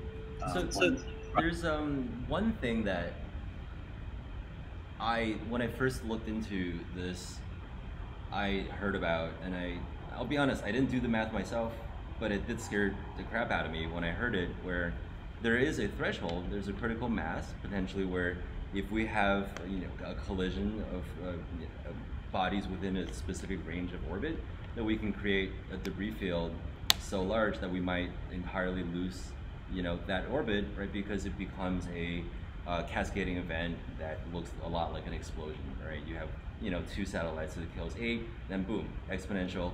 Um, and the thought of us not doing the right thing and having that happen either through stupidity or through intentional offensive actions uh, made me think that you know for the first time we might actually by we I mean my generation might actually significantly do way worse and live in a less technically capable like reality than my our parents right just because we lost space you know it's kind of like a sing out of idiocracy I don't know if you guys have seen that movie, but you know, a lot of things are happening these days, but if space becomes one, man, that that would suck. And I, I talked to some people who say, well, you know, do the math, we're not worried, you know, we're years away from that. And I said, years? That's not a lot of time, right? So uh, I would love to see if you, what you guys think about that. And man, just the reality of potentially losing access to space for a decade is it's a little embarrassing, you know, if, if that happened to us.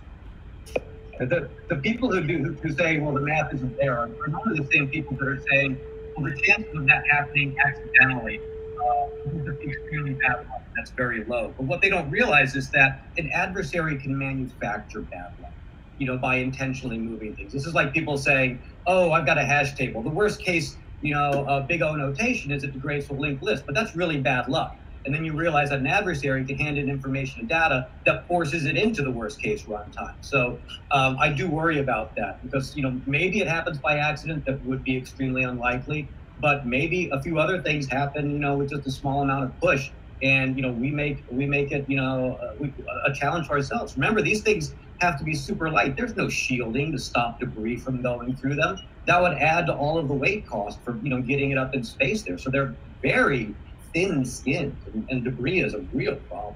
Yeah, and I was and looking I was... at the stats. Um, I think for NASA had a stat where, you know, for every launch of the space shuttle, they there was something like a 33 ish percent chance that the the shield, the windshield, would be damaged enough that warrants a full replacement. And they were able to see that debris, you know, destruction go up over the years, right? So clearly, we have more and more debris, uh, debris that was, you know, like they're they're tiny things with like massive amount of speed, right, of velocity. So yeah, like uh, I think the numbers are going up, you know, and also yes, like intentionally crashing uh, or disabling, you know, like uh, one of these satellites is a thing, and also I'm sure I think uh, Hack-A-Sat, the main CTF, is wrapping up now, so. Talk, let's go talk about that, right? Like, uh, you know, I think for the final event is turn the satellite around and take a photo of the moon, just to show that yes, of course you can, you know, command and control these things from Earth. But you know, we, we are also crashing you know satellites by accident, right? I think there was a, a few years ago, at least the U.S. and a, a, a Russian satellite that just collided, uh, creating massive debris field. And China just went off and blew up some of their own satellites for fun. you know, that still people have to navigate around on a weekly basis. So I don't know. I think that this is, um, yeah, I think you're right. You know, the people talking about it, saying this is not a thing, is assuming just good intentions and accidents, right? But we're, as hopefully we've shown here and through Hack-A-Sat, we're living in a new reality where you know we've democratized like access from malicious actors into space. One,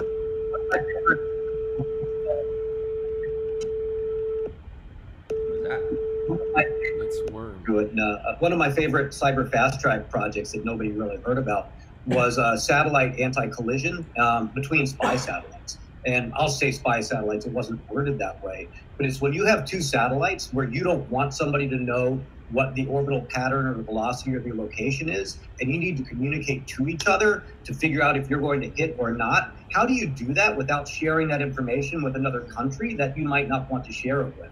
And it turns out homo, this is this is what partially homomorphic encryption you know is actually very good at, where you can do computations, see that they're right, but not actually know what the values were underneath it. So possibly there's some play with uh, homomorphism uh, or fully or partial homomorphism uh, for the mathematics field, uh, you know, Frank Gentry's uh, stuff that can come into play. And, you know, I worry about the satellites that um, are, you know, hey, we we don't, we don't want you to track us, you know, and then how do we say, how, how do we do our calculations to make sure that those aren't where we're accidentally moving? Um, and they have limited fuel cycles too. So yeah, it's it's getting interesting up there. Uh, if, if folks follow uh, Jonathan McDowell, he's out of the Smithsonian Observatory in Boston, and he does a lot of interesting sort of offensive theory. Uh, but he's also largely about tracking satellites and, and launches and and the debris. He's he's a big he's a fun uh, follow on Twitter. I'll try and find his uh, handle because it seems relevant to this discussion.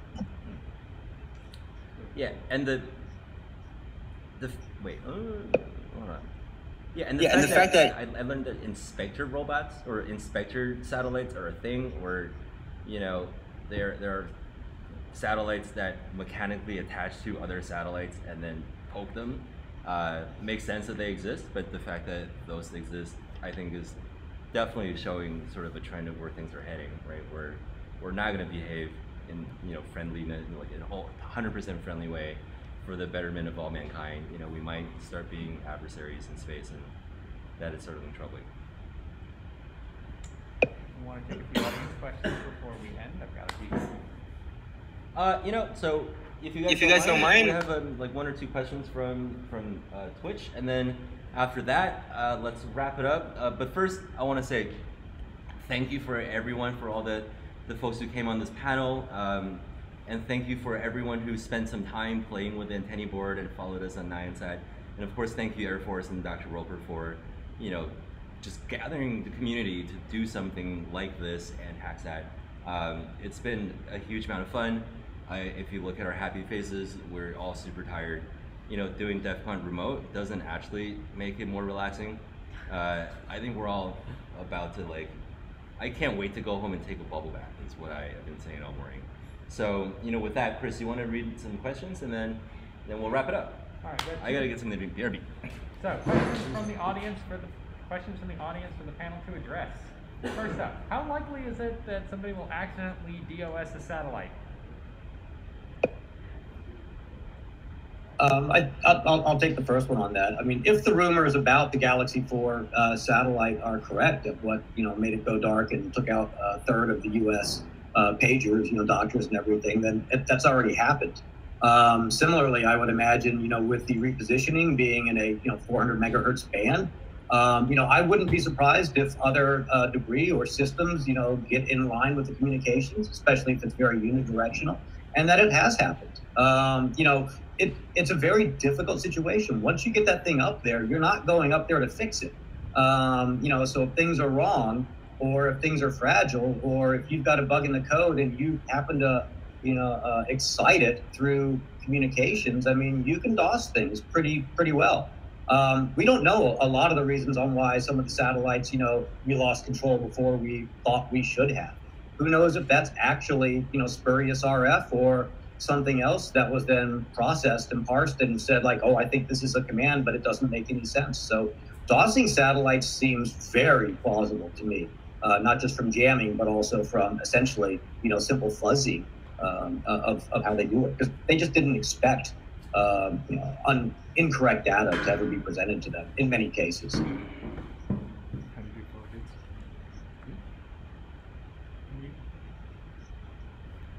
Anyone else on DOSing satellites?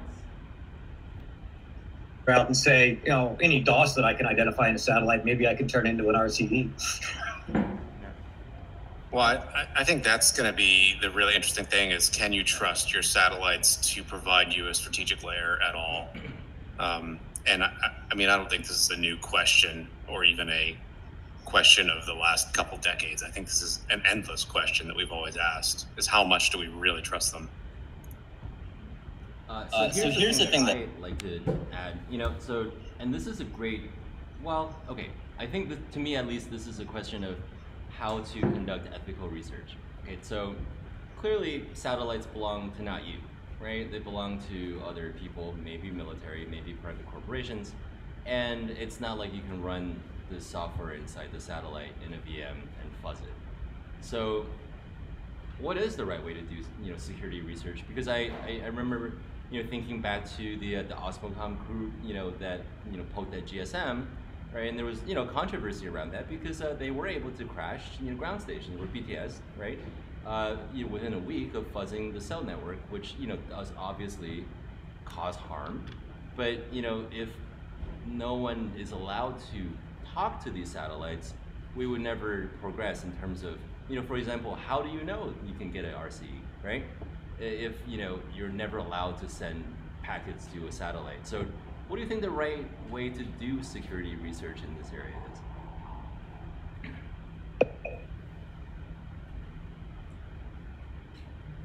I'll, I'll start with mine. I mean, I've, I've been playing in this area for, I mean, 20, 30 years, not, not as avidly and as engaged as everybody else, but it's been a fascination of mine. I, I got to walk in the payload of the uh, first shuttle before it uh, took off uh, because my, my dad had projects in it. Although the first one, everything stayed dark, which was just, I didn't understand it. I was too young, but I see these pictures uh, of myself. And for me, it's listening is fine.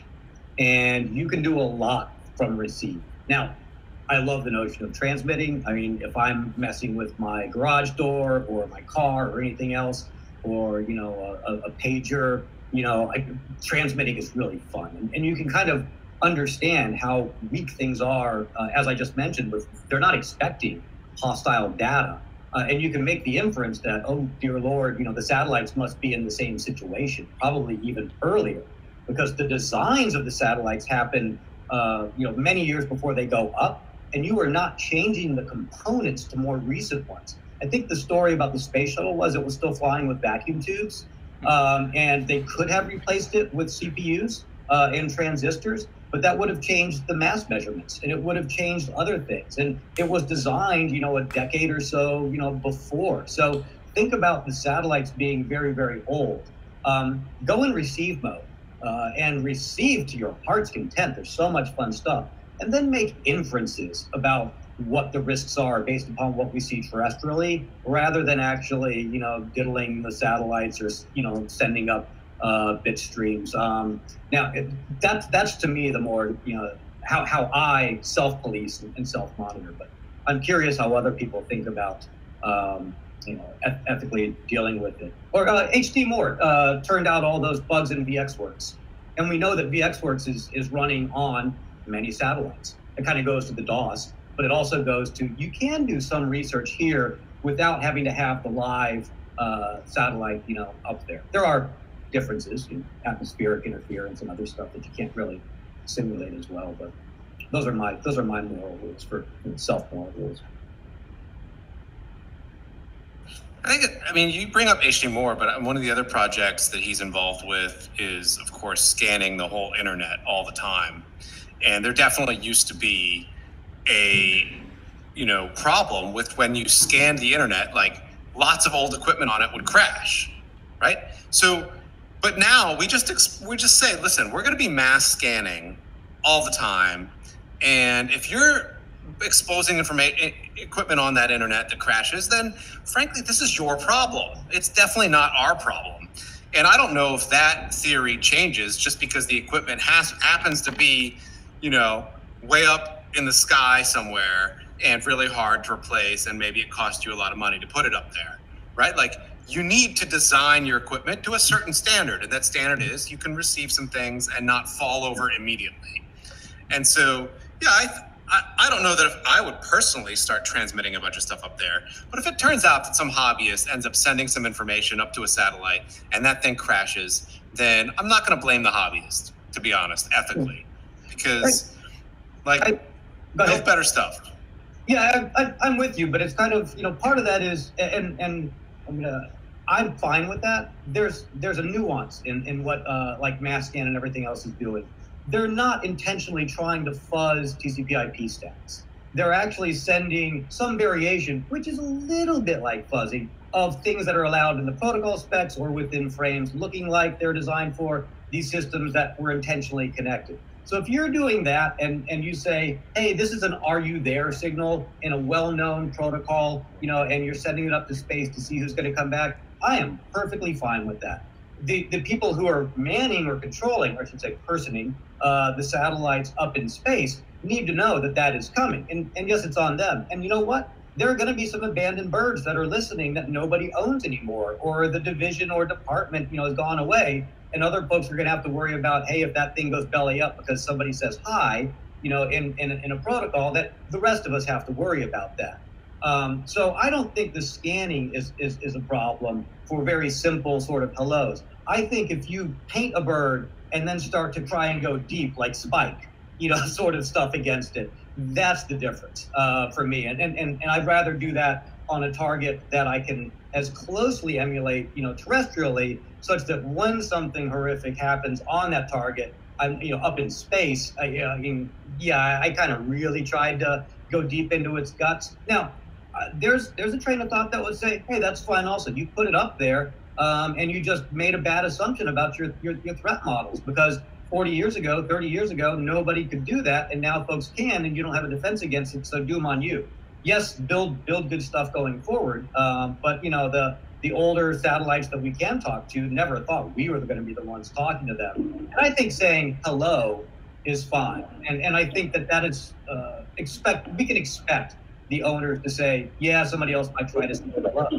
But to really hammer on it, I think that for me is possible. But yeah, I, I would say I would just say on the ground as well, you have options as far as shielding network equipment off and things like that. If you're in space, you don't really have those options because like somebody could just flood the entire RF spectrum and then you're you're you're out of options at that point. All right. So, so one, one, la- one last question, and this is actually something that came up in yesterday's stream, and I thought was a really good one to end on. What can random Twitch viewers or us participants at DEF CON do about space security? How can we make this situation better? buy more antennae Just kidding. Just kidding. Actually, not far off though. I mean, the more the more uh, public awareness there is, the more folks start to you know share what they're finding and what they've built. Like all of a sudden, if you start to say, "Hey, look at this," um, uh, you know, look at these pictures of Russian, you know, helicopters, and it, you know, and it becomes you know newsworthy or whatever that raises the awareness to a lot of the folks building the next generations, um, you know, or, or, or maintaining the current and previous generation ones. So if you are interested in satellite communications, you know, go get some RF, you know, uh, some RTL SDRs, some HackRFs, some AirSpies, or some some up and down link converters, and start playing with some of the stuff and listening and point up to the sky and kind of you know you know get involved. I mean, the more you talk about it, the more excited you are, the more attention that's going to drive to it.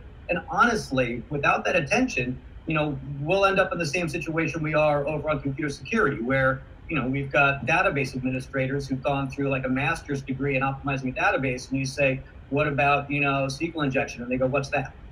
Um, you know, they're they're just not this awareness that's then baked into the education part. We need enough awareness and enough interest that it starts to become baked into general um, you know, uh, design and management instead of just a special niche uh, where it says, oh, there's the security folks over there. Take a special one day class on that. No. Um, the more we do here, the more stuff like Worm, uh, the more stuff like everybody else uh, of, of, the demos that, that got in there, and the more excitement, you know, the more it has a chance of driving it into the mainstream, and then it becomes just part of, oh yeah, we always have to deal with this because this is that community that's out there. Don't don't go down the road of like the, the computer security community, where that's still a niche market and it's still something bolted on after the fact. Go down the way uh, environmental engineering did. That used to be like computer security. Nobody did it. You could become a specialist in it, and, and, and then you're a host, just like a computer security specialist. You're still a janitor when it comes up to things, you cleaning up the really stupid things. Environmental engineering became so important and so well known that they had to then go introduce it as part of the core curriculum in all of the other engineering ones. So if you're doing civil engineering, you're doing electrical engineering, you don't get a one uh, a one day class or, or a, a sidebar on it. It's part of everything. You know, you don't have to be an expert in it, but you definitely are very comfortable with it. We need the satellite communications to have that adversarial aspect and the security interwoven throughout all those parts rather than be like computer security where, oh yeah, we got one day on buffer overflows and then we're right back to like, you know, writing the insecure code uh, that we're doing. So yeah, I just think keep doing what you're doing, build an antenna, grab some different RF stuff, start decoding, start sharing some of the stuff that you're like, this shouldn't be public until it becomes part of the public uh, conversation. Yeah, yeah, yeah, I, I totally agree with that. And I think, you know, what you said before about, you know, the, there's an easy line to draw in terms of responsible behavior and security research here is to yeah you know to listen carefully right? To listen to what is being sent down to earth and from that potentially infer uh, security issues that might be there. So i think you know part of um, the reason why we spent all this effort building this antenna board and you know trying to get people to take this first step to play with things like this is um, i hope we can create a community of responsible security researchers that can point out uh, issues that can be fixed in space without causing harm, right? Because uh, I would love to see, you know, the security community do this without accidentally making a satellite fall out of the sky, right? So that we can constructively and responsibly help, you know, improve things little by little. Um, and uh, I think that's the first step is, yeah, get a radio and listen to the sky, right? See if you can see something that's wrong. And uh, hopefully we will do this without actually breaking anything that's expensive or puts you know, people or things in danger. Um, I think that's really important too.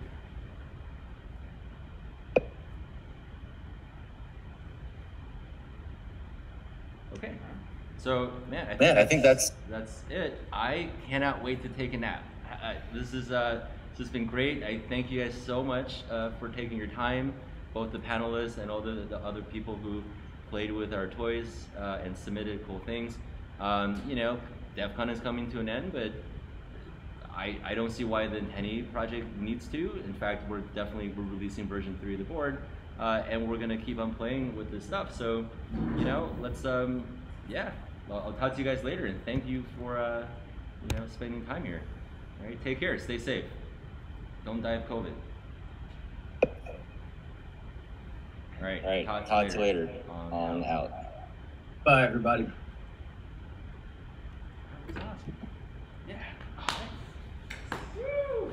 So, are we done streaming? No, hey. Did you go home? Yeah, he had, he had a train patch. Anyway, congrats guys.